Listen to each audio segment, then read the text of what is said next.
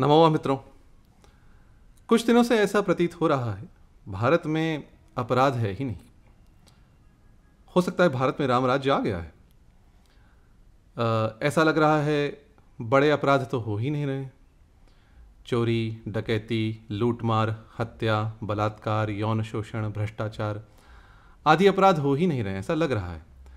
तभी तो भारत की के विभिन्न राज्यों की पुलिस के पास और भारत के न्यायालयों के पास छोटी छोटी भूलों के लिए समय है और इन्हीं छोटी छोटी भूलों के लिए अथवा छोटे छोटे जीव फिसल जाए, इन ऐसे घटनाओं के लिए भी इनके पास समय है। इनकी जाँच करने के लिए, इनके लिए लोगों को आसिद्ध करने के लिए और इन पर विचार विमर्श करने के लिए।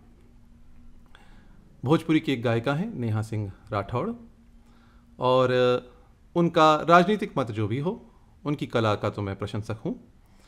उनका एक बहुत बड़ा योगदान है। उन्होंने भोजपुरी संगीत को एक ऐसी नई दिशा दी है, जो अश्लीलता से दूर और एक गंभीर कला के साधन के रूप में भोजपुरी भाषा को प्रशस्त करती है। अन्यथा लोकप्रिय जो भोजपुरी गाने हैं, दुर्भाग्यवश उनमें अश्लीलता ही थी, मेरे अनुभव में।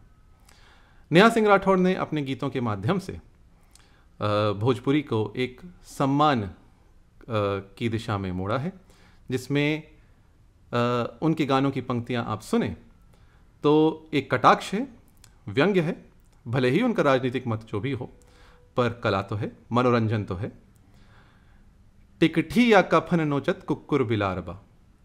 इन पंक्तियों से हमें नए शब्द सीखने को मिलते हैं, भोजपुरी के, मैं भोजपुरी समझ सकता हूँ, बोल नहीं सकता।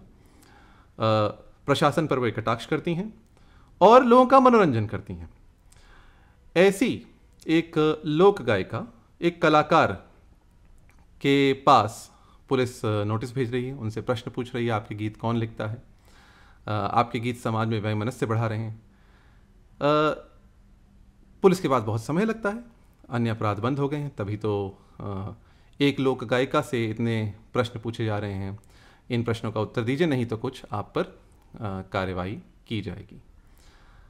यह स्मरण दिलाता है उस समय का दो सहस्त्र बारह की बात है, जब असीम त्रिवेदी नाम का एक कार्टून बनाने वाले को भारतीय प्रशासन ने आसिद्ध कर लिया था और उन पर सेडिशन देशद्रोह का आरोप लगाया था, जो पीछे हटा दिया गया, जो निरस्त कर दिया गया आरोप न्यायालयों के द्वारा।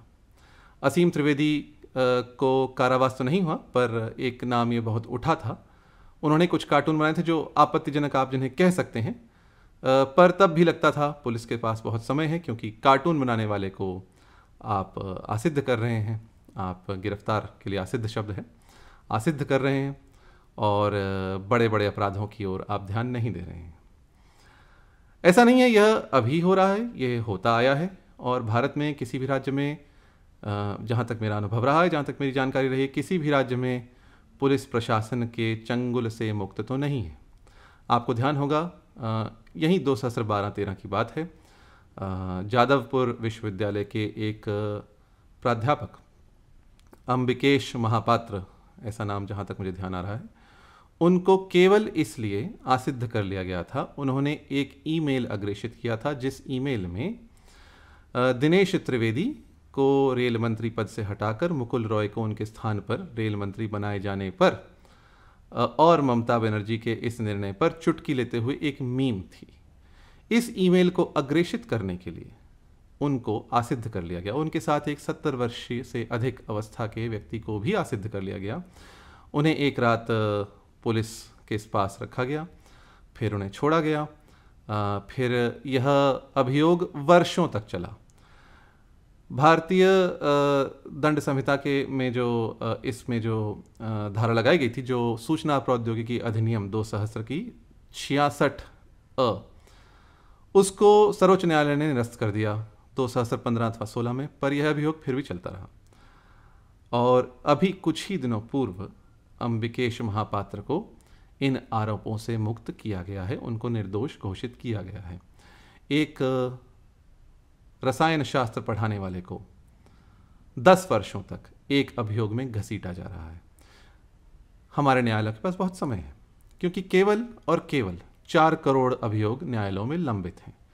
तो इसी कारण इतना समय है कार्टून आगे भेजने पर जो अभियोग चल रहा है जो विवाद चल रहा है उसको दस वर्ष लग रहे हैं। आ, उसके लिए समय है।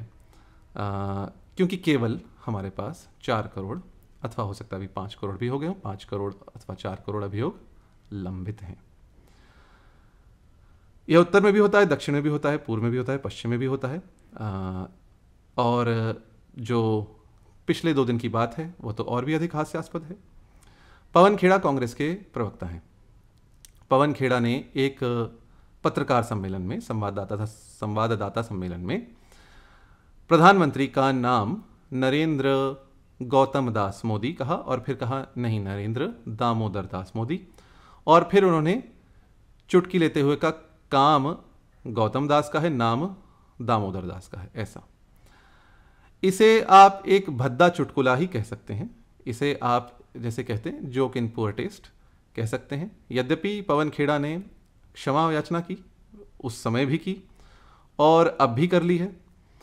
पर यह तो एक घटिया चुटकुला सुनाने के लिए, अथवा एक घटिया हास्य सुनाने के लिए क्या आप किसी को विमान से उतार कर असम की पुलिस उनको आसिद्ध कर रही है? क्या ये हास्यास्पद नहीं? इस, इससे बड़ा चुट, इससे घटिया चुटकुला क्या हो सकता है?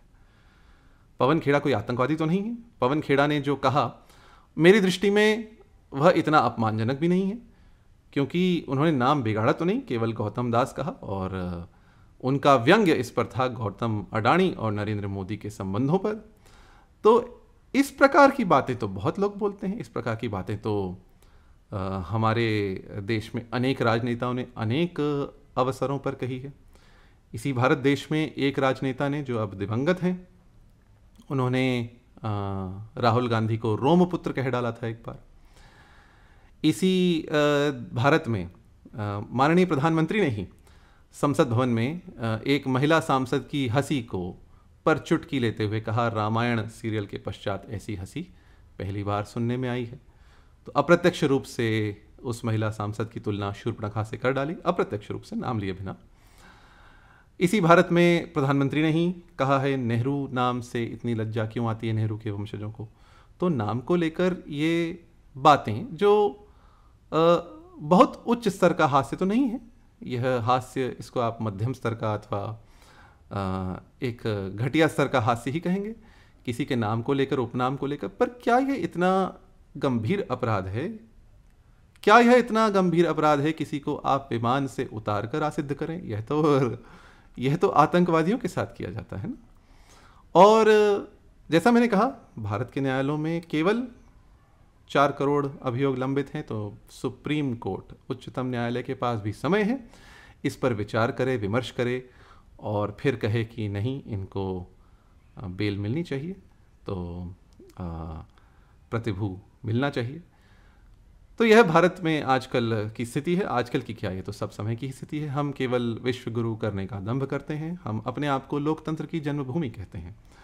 हम राम राज्य की परिकल्पना करते हैं। पर हमारी पुलिस राजनेताओं के हाथ की कठपुतली बनी हुई है और हमारे न्यायालयों के पास चार करोड़ से अधिक अभियोग लंबित होने, होते हुए भी इतना समय है, ऐसे ऐसे विषयों पर विचार करे, विमर्श करे और अपना मंतव्य दे। जिस प्रकार भारतीय उच्चतम न्यायालय ने सूचना प्रौद्योगिकी अधिनियम के, की धारा छियासठ अ को निरस्त कर दिया था। जिस धारा के अनुसार किसी भी डिजिटल इक्विपमेंट से, किसी भी उपकरण से आप कोई भी जानकारी प्रसारित कर रहे हैं, जो आपत्तिजनक हो तो आपको असिद्ध किया जा सकता है। उसी प्रकार मेरे विचार से एक उच्चतम न्यायालय को यह निर्णय भी देना चाहिए, किन किन अपराधों पर अभियोग चलना चाहिए और किन पर अभियोग चलना ही नहीं चाहिए। यदि हम लोकगीत गायिका के गीतों पर पुलिस जाँच करने लगे और फिर उस पर आरोप लगाकर अभियोग चला दे। अथवा किसी राजनेता के भले ही उन्होंने जानकर किया हो अथवा भूल से किया हो कि एक निम्न स्तर के चुटकुले पर अथवा निम्न स्तर के हास्य पर अभियोग चलाने लगे। तो जो गंभीर अपराध हैं उन पर अभियोग चलाने का समय हमें कहाँ मिलेगा? तो उच्चतम न्यायालय को ये सोचना चाहिए विचार करना चाहिए किन अपराधों पर अभियोग चलना चाहिए और किन पर अभियोग चलना ही नहीं चाहिए। आ, मैं न तो आ, इस वक्तव्य में मैं न तो भाजपा का समर्थक हूँ न कांग्रेस का समर्थक हूँ मैं केवल भारत के एक नागरिक के रूप में अपने विचार सामने रख रहा हूँ। क्या अंतर रह गया है? भाजपा कहती है अपने आप को हम एक अलग राजनीतिक दल हैं पार्टी विद डिफरेंस है। पर जो पिछले कुछ दिनों में हो रहा है नेहा सिंह राठौड़ के साथ हो अथवा पवन खेड़ा के साथ हो ये स्मरण तो मुझे दो सहस्र बारह का ही आ रहा है जब असीम त्रिवेदी को आपने यहाँ सिद्ध कर लिया था। जब आ, आ, स्वामी रामदेव के आ, के जो उन उन्होंने जो रामलीला मैदान में जो लोगों को बुलाया था उस पर पुलिस ने कार्रवाई की थी।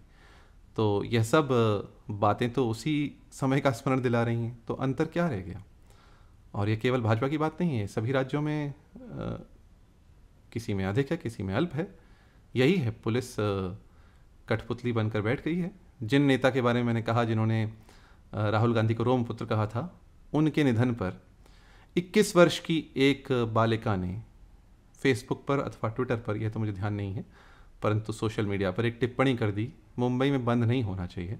और उस, बालिका ही कहूँगा इक्कीस वर्ष की थी उस समय, और उसकी एक सहेली ने उस उस पर लाइक का बटन दबा दिया तो दोनों को पुलिस ने आसिद्ध कर लिया। क्या भारत में फेसबुक पोस्ट पर अथवा ट्विटर पर कुछ लिखने के लिए किसी पर अभियोग चलना चाहिए? हाँ यदि कोई कहे, यदि किसी के ट्वीट पर अथवा यदि फेसबुक पर लिखने से अथवा यूट्यूब पर कुछ कहने से, यदि कोई हिंसा करने के लिए लोगों को उकसा रहा हो तो बात दूसरी है। पर यदि कोई निंदा कर रहा हो, यदि कोई समीक्षा कर रहा हो, यदि कोई विनोद कर रहा हो यदि कोई कटाक्ष भी कर रहा हो, व्यंग्य भी कर रहा हो भले वो घटिया स्तर का हो अथवा अच्छे स्तर का हो, भले वो साहित्य की दृष्टि से उच्च हो, कोटि का हो, अथवा कुछ प्राकृत जनों की कोटि का हो क्या इस पर अभियोग चलना चाहिए? क्या इतना समय हमारे पास है? क्या भारत में और कोई अपराध नहीं है? क्या भारत में और कोई विषय नहीं है जो विचार योग्य है, जो पुलिस के और न्यायालयों के समय का अधिकारी है? यह विचार बनता है और इसी के साथ आज का वक्तव्य मैं समाप्त करता हूँ। आशा है आपको अच्छा लगा होगा। नमो